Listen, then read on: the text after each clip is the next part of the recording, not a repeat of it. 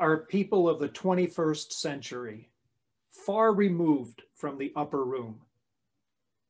We've put away the festive trumpets, the fancy clothes, and the chocolate Easter bunnies from last week. But must the message of Easter be put away for another year? We still seek the one who offers victory over death, whose love conquers evil and unlocks the doors that prevent us from discovering our true selves. We are an Easter people, driven not by fear, but by love. So, together, let's worship the risen Christ who offers us new life. Blessed are those who have not seen and yet have come to believe.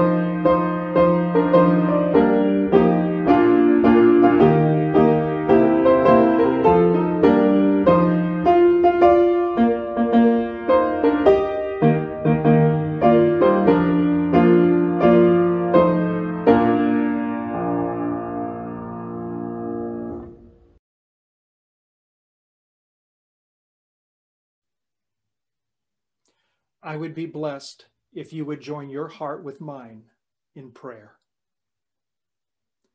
Death defying God, just as you raised Jesus out of the shadows and fears of that lonely grave, so you come to call us from the fears which surround us, to fling open the doors of our hearts, which have been locked by this pandemic risen and victorious Christ, locked doors and sealed tombs could not keep you from being with the ones you loved.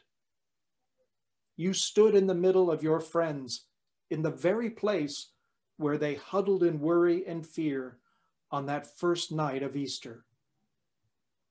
Even as you stood in their midst, come among us now, wherever we find ourselves on this day of our lives to remind us that there is nothing, absolutely nothing, that can keep us from our life in you. Send your spirit of peace to strengthen us with your gentle grace, so we may dare to be present with all whose lives are scarred by fear. To serve all who today need grief shattered hearts mended to breathe peace and life into everyone we meet this day and every day. Now, divine friend, as you draw us close to your heart, which is our true home, we join our hearts and voices, praying together the prayer that Jesus taught us, saying, Our Father, who art in heaven, hallowed be thy name. Thy kingdom come, thy will be done on earth as it is in heaven. Give us this day our daily bread, and forgive us our debts as we forgive our debtors. And lead us not into temptation, but deliver us from evil. For thine is the kingdom, and the power, and the glory forever. Amen.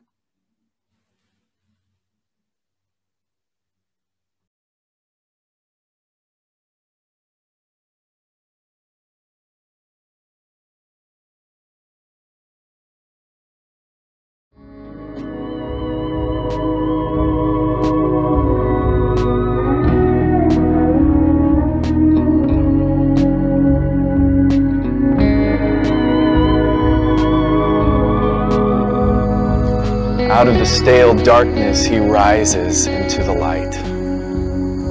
Bright rays of sun split the top of trees. Clouds depart. And blue fills sky. The smell of angels lingers in the air. His hair feels the cool breeze once again. This was not the garden, but a new world made from the eruption of hope in a life that could not be held down. We were witnesses to the life that rose from the dead. God's relentless love comes close to us, moving stones from tombs, opening the heart to a new possibility. Death no longer stands. My heart races inside my chest as I step forward into the future. My future. Grasp it with open hands, with a new naivete, a child toward a mother, to be held and lifted up and cradled with care. At times I hesitate. I grasp on to memories of what once was. But I know that I'm not alone in my apprehension. I feel the hands of others holding me. These are my sisters, my brothers, who are not strangers to my fears and frailties, who can feel their own scars, both fresh and old, who have also confronted a hope that frightens them. They step in pace with me The weeping women at the graveside, the scared disciples in the upper room. This is our future, where we walk together toward our new home, built from the hands of a wounded king, the new Zion, forsaking kingdoms marked by borders and divides, where all our settlements are but temporary shelters, sanctuaries of rest for the wounded and weary. Then the Christ returns to visit us Galilee's boats pulled to shore. These places seem familiar. The lapping water, the sand. But we are not to return to these lands, nor those dreams, but become pilgrims, to set our belongings in a new home, to wash our sandy feet in some other place to lay down our tired souls on a distant promise, quilted from both the today and the tomorrow. And we dine as a day sees another setting sun, sitting across the table from one another, seeing each sweet face, laughing deeply, feeling whole once more. And we see the Savior smile. He knows our journey's end. And He pours us another cup full of His love. And this time, our eyes tell Him we understand.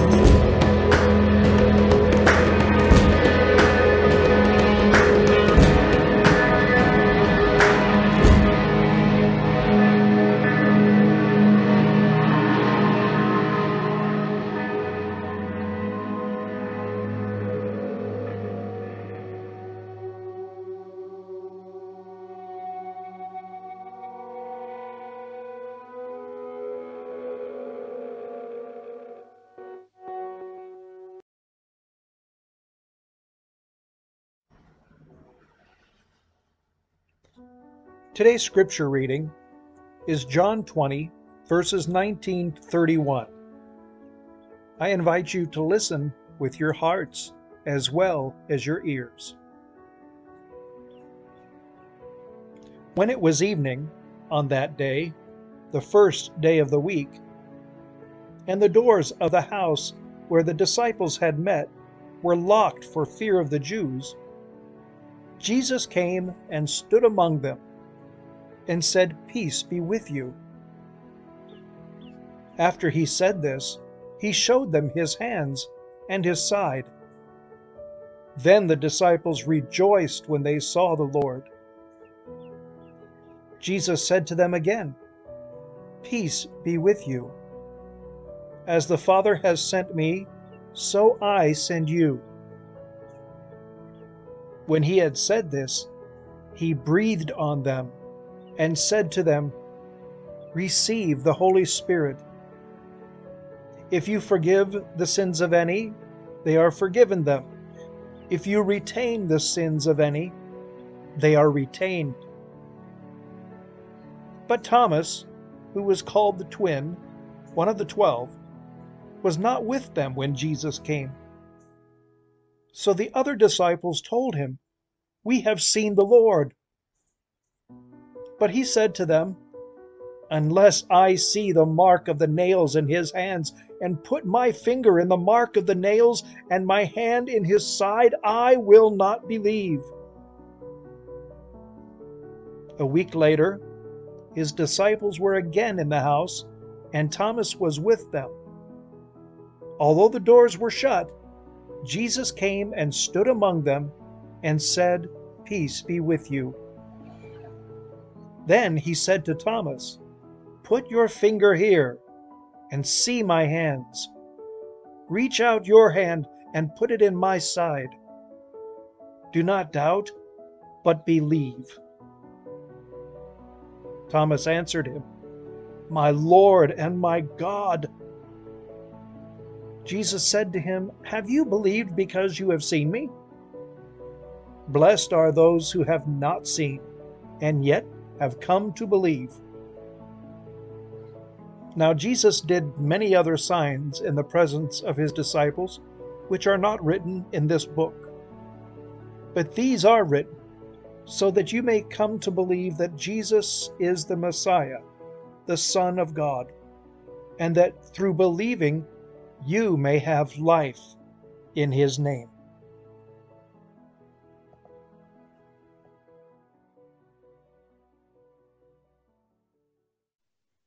Will you pray with me? Day by day, day by day. Dear Lord, of you three things we pray to see you more clearly, to love you more dearly, and to follow you more nearly, day by day. Amen. Well, on this second Sunday of Eastertide, I thought I would begin today's message by doing a little experiment. And because we're not meeting in person yet, I don't have the luxury or the benefit of having willing volunteers to participate or people to watch their response or their reaction to this experiment. But it's really not for me anyway, it's for you. Uh, so even under these conditions, it should still do the trick. So are you ready? Christ is risen.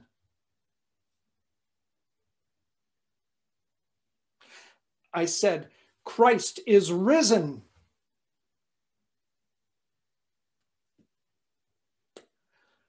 Well, I said, Christ is risen.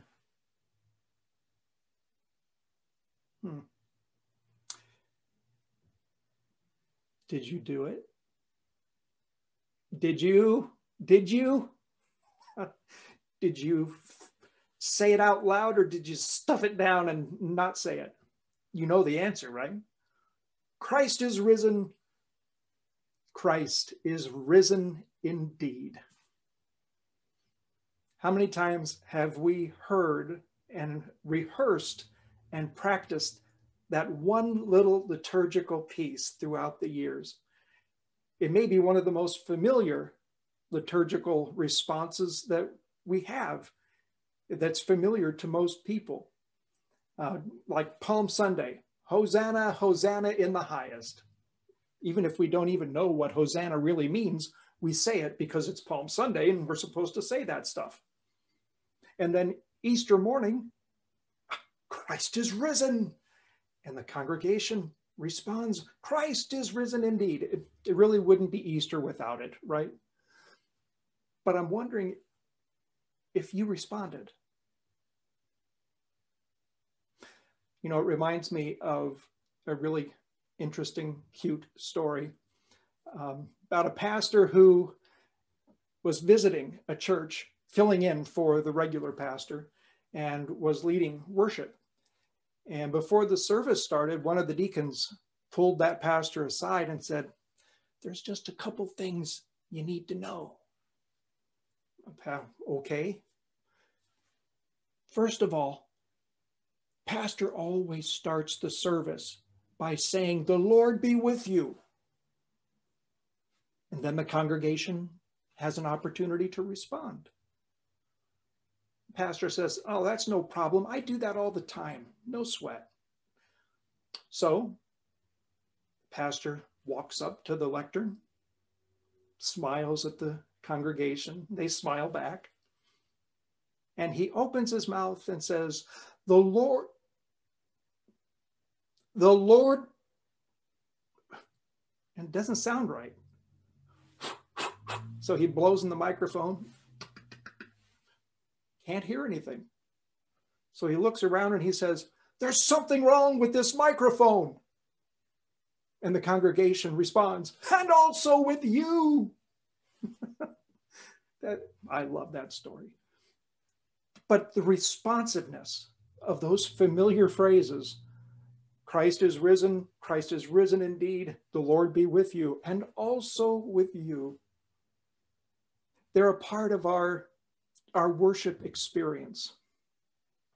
But like I said earlier, I wonder how strange it feels for you to be watching this digitally on a computer or on your television screen, maybe by yourself or with a loved one close by knowing that it's not the same as being together in the house of worship that we know and love.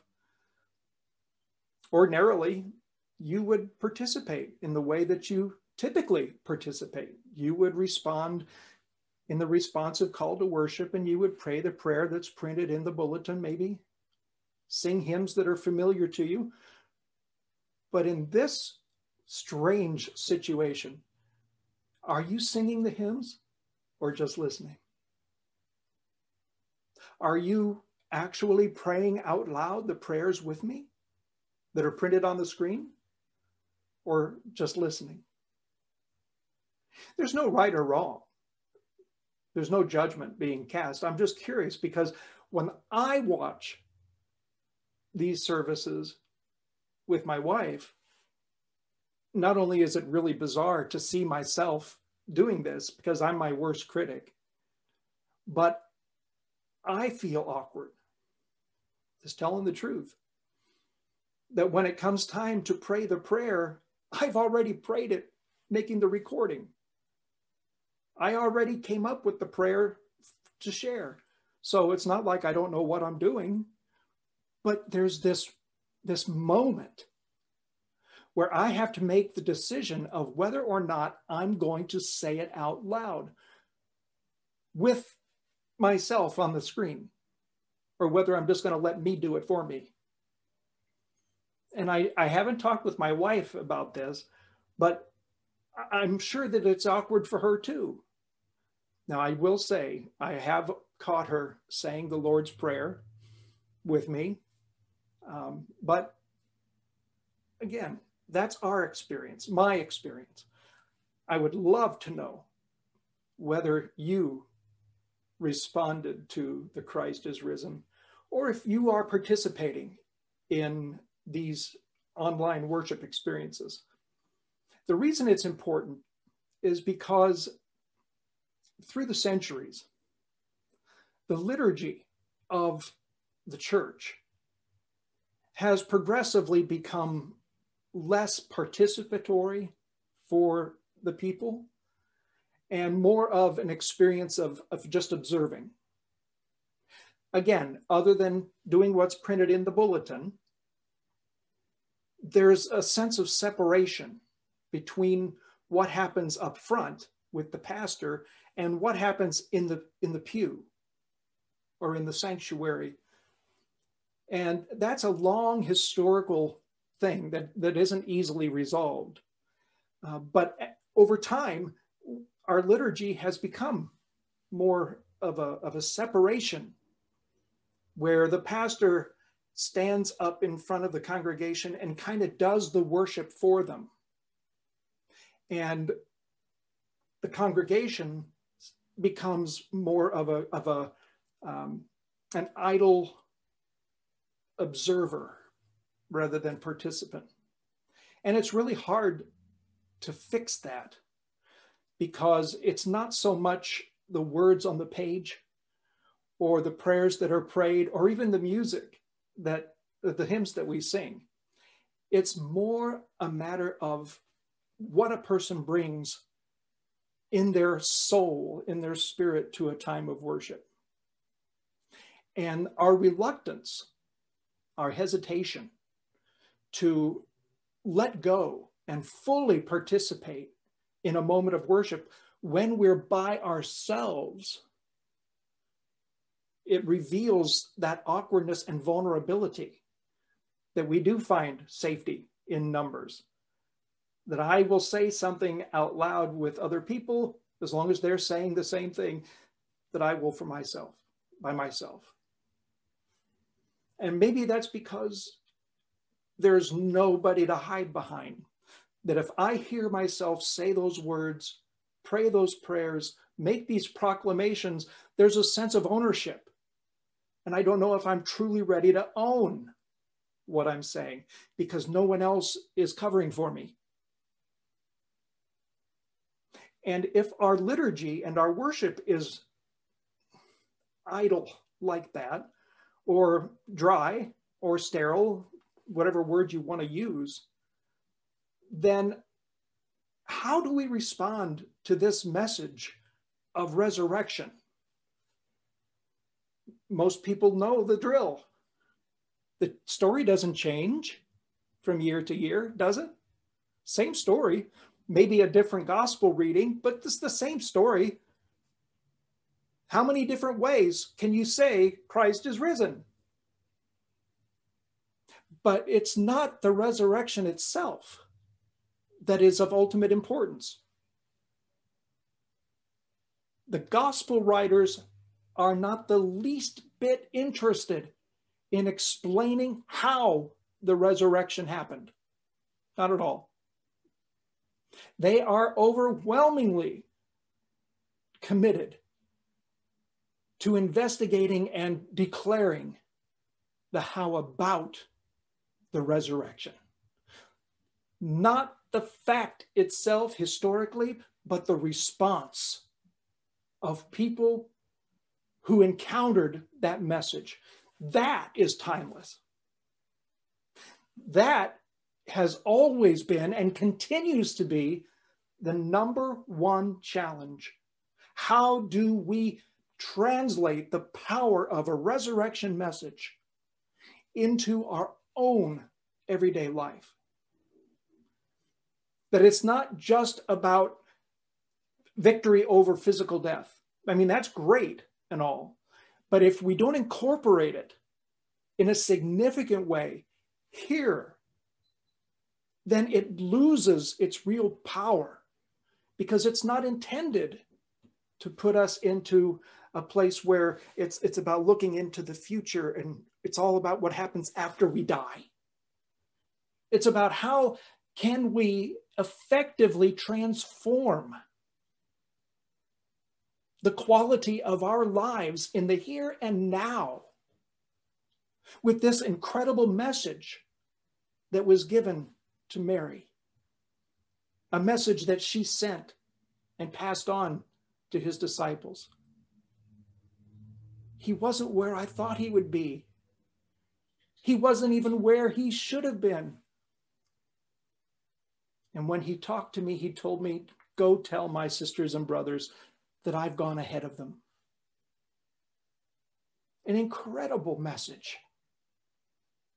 And yet, we struggle to find ways to incorporate it in intimate ways. That's why this morning's story from John's Gospel is so powerful and beautiful. It is. And I'll even give you a little tidbit of biblical trivia that you can impress your friends and neighbors with. John 20, verses 19 to 31, is the only biblical passage that appears every single year on the Sunday following Easter in the Common Lectionary. Otherwise, it's all changed up year after year, different readings. But John 20, 19 to 31, every single year.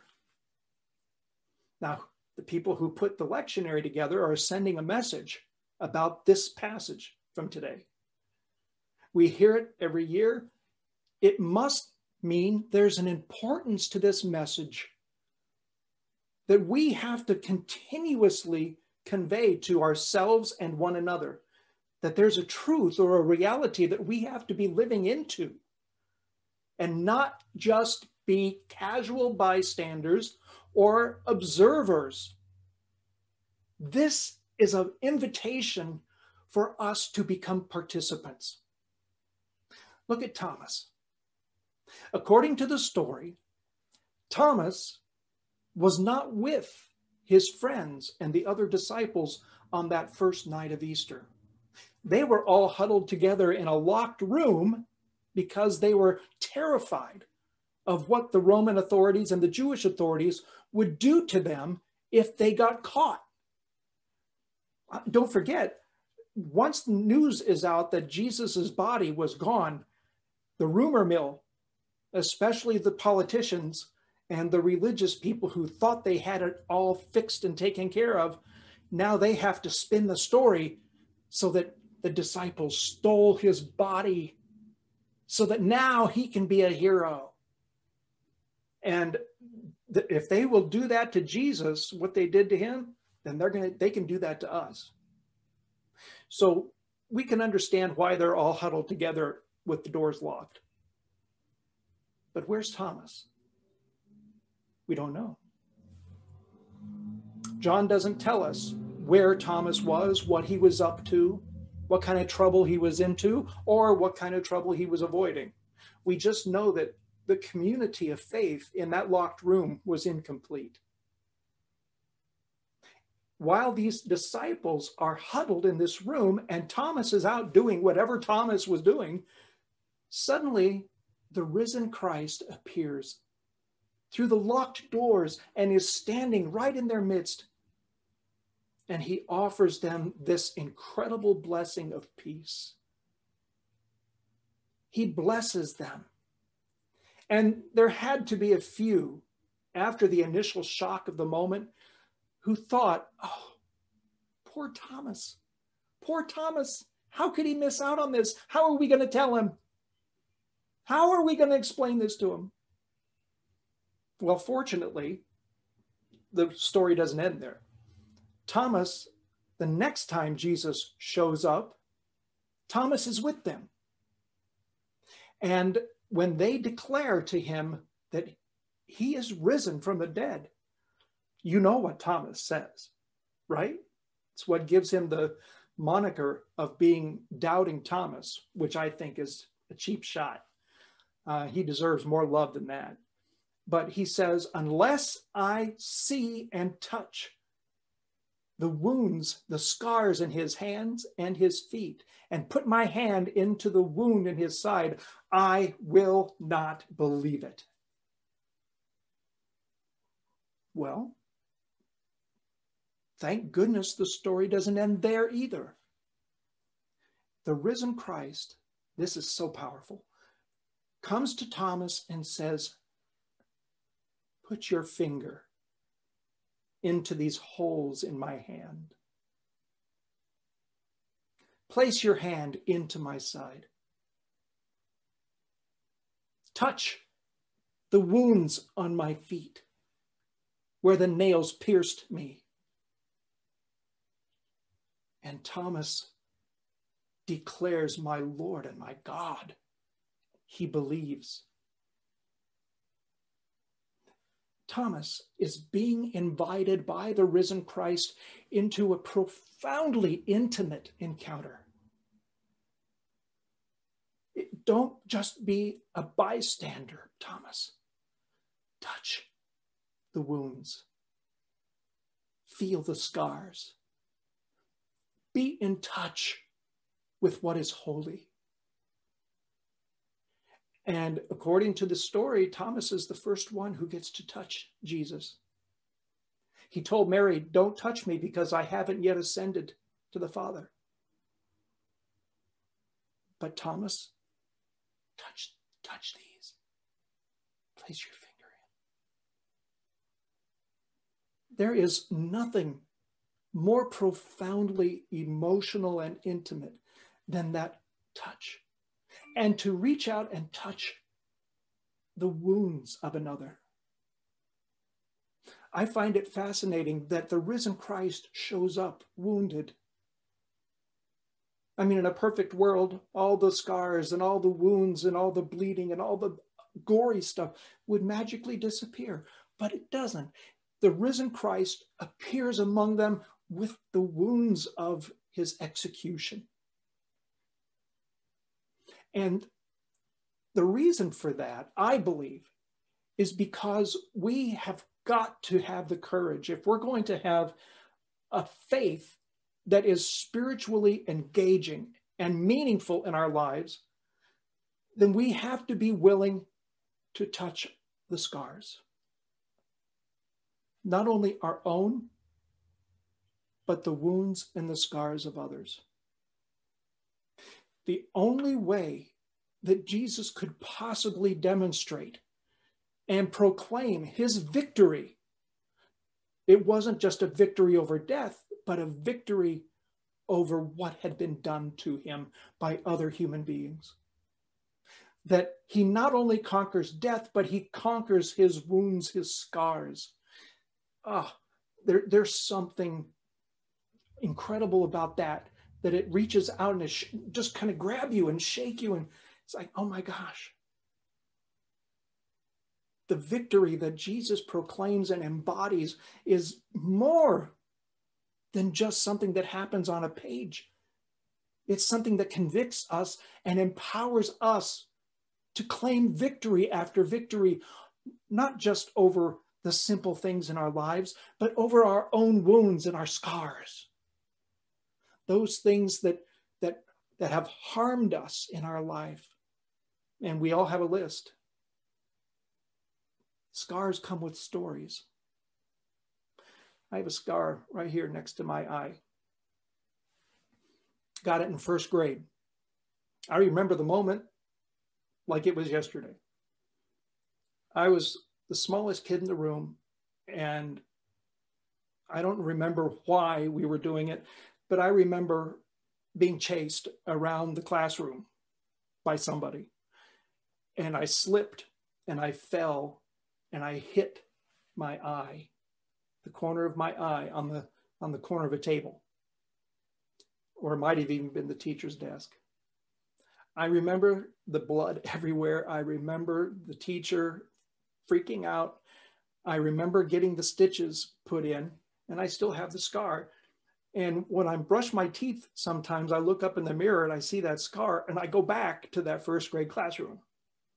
And I relive the moment that I received the wound. We all do that.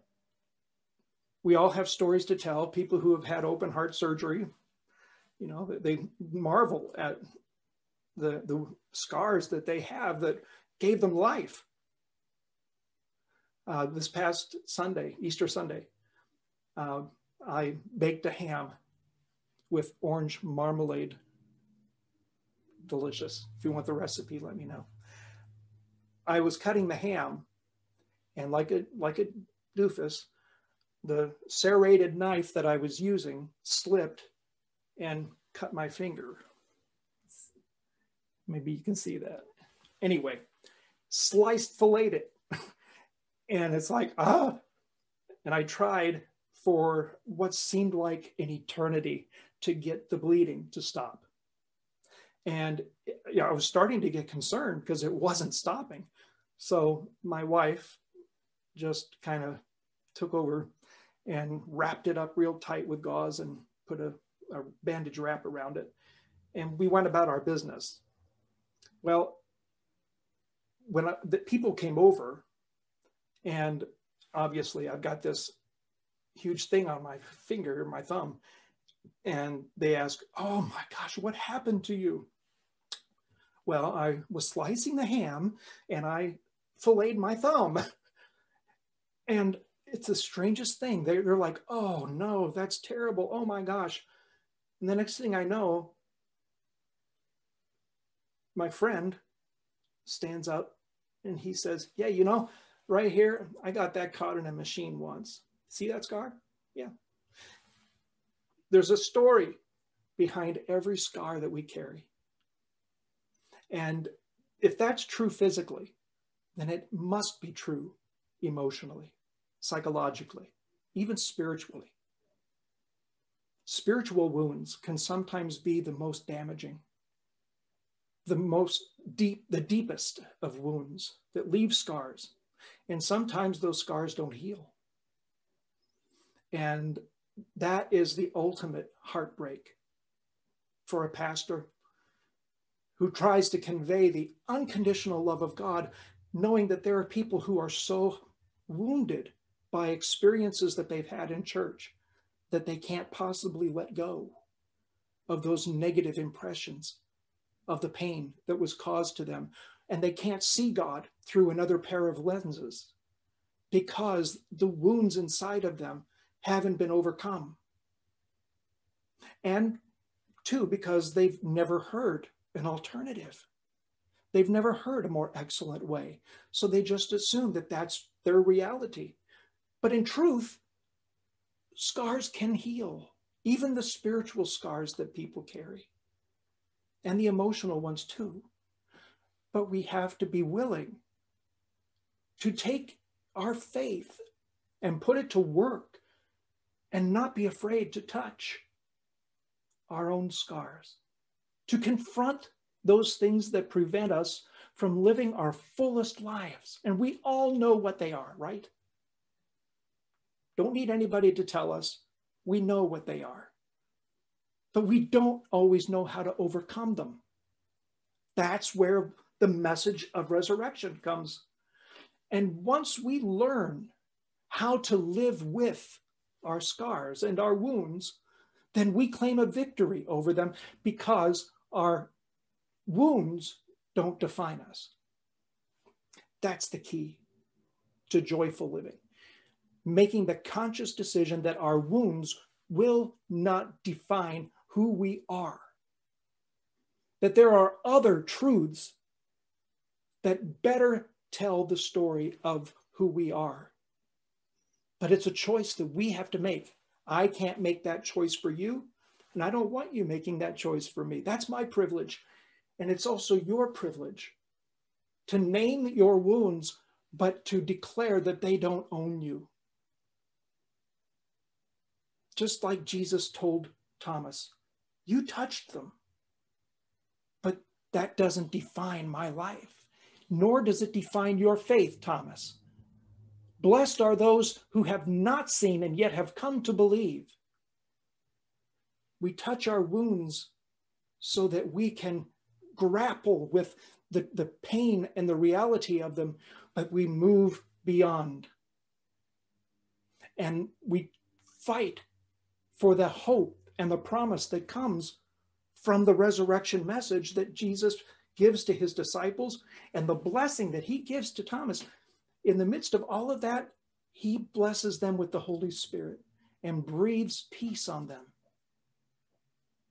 That is God's ultimate desire, ultimate goal for all of us. Not that we avoid our pain in life, but that we approach our brokenness, our pain with courage and with confidence that we're not doing it alone, that we all have victories to claim.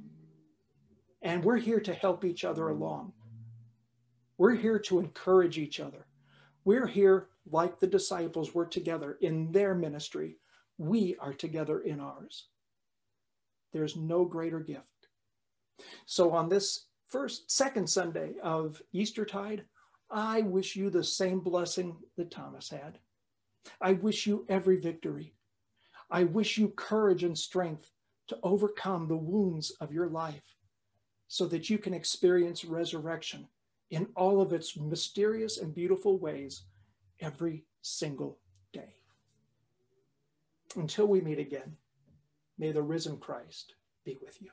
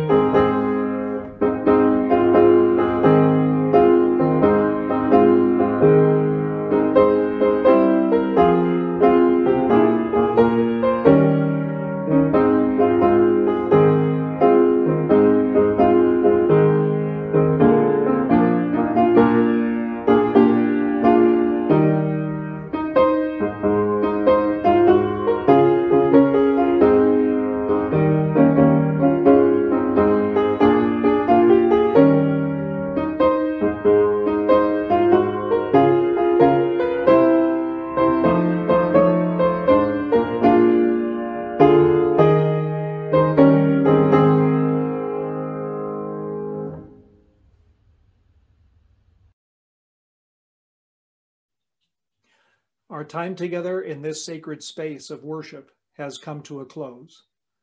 But the good news is there is no time or space that can separate us from the unconditional love of God or the love of Christ that binds us together. If the God who raised Jesus from the dead is for us, who dare be against us? We can do all things through Christ who strengthens us. Return now to your everyday life with humble confidence. There is nothing about to happen that God has not foreseen, and no situation where Christ will not be there ahead of you, preparing a place and an opportunity for you. Thanks be to God. Now may the Lord bless you and keep you. May the Lord make his face shine upon you and be gracious to you.